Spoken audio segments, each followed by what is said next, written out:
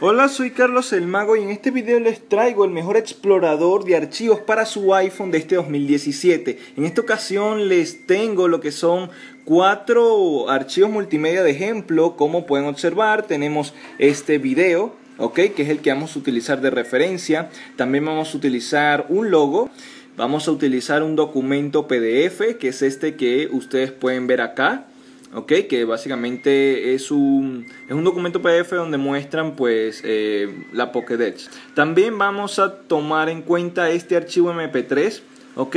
Porque vamos a transferir todos estos archivos a nuestro dispositivo. La mejor herramienta o el mejor explorador de archivos es este llamado iCareFone ejecutamos el programa y le damos a gestionar archivos. Aquí pues vamos a indagar en cada una de las secciones, como es el caso de los contactos, donde podemos ver toda la lista de contactos que nosotros tenemos. Además de eso, en el lado derecho podemos ver la información de ese contacto, pero no solamente eso, ¿ok? Eh, nos da detalles como correo electrónico y también podemos incluso, eh, si así lo deseamos, añadir un contacto desde esta misma sección. ¿Ok? Podemos colocar el nombre, el apellido, la empresa, el número de teléfono, correo electrónico.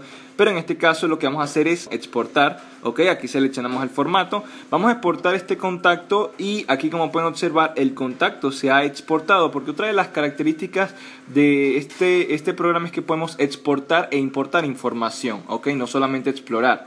Podemos eliminar incluso algunos contactos o algún contenido. Si nos vamos hasta la sección de música, aquí vamos a ver toda la lista de canciones, ¿ok?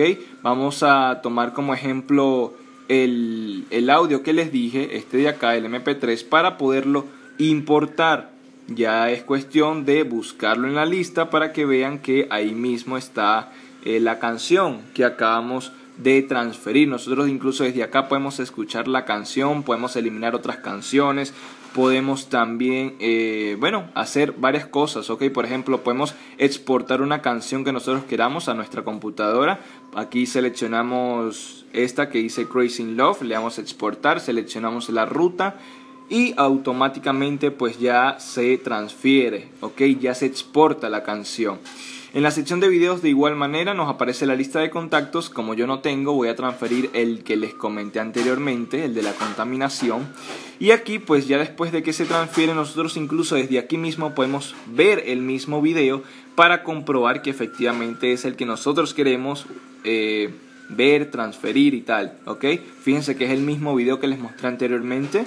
Pero bueno, ya aquí lo tenemos en el dispositivo y de, la misma manera podemos eliminarlo dándole aquí a donde dice eliminar, aceptamos y bueno, el video se elimina, eso sí tenemos que seleccionarlo porque si no, no se elimina. Pero eh, aquí como ustedes pueden ver funciona como tiene que funcionar.